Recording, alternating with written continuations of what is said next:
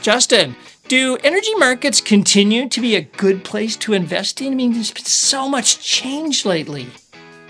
Uh, absolutely, and, and really for two reasons. One, the markets are only growing. We are building more. The demand globally from developing nations who are also rising out, in some cases, rising out of poverty. Um, there is a ton of demand out there. They need energy, and we need energy of all kind in order to support that. And that's the, actually the second reason, or dovetails into the second reason, which is we're we're transitioning to other energy sources, and the energy companies of today are the companies that will lead that transition tomorrow when you think about the investments they're making in infrastructure or in development of supply and demand markets to facilitate that growth. Yeah, the incumbents have a lot of advantages here.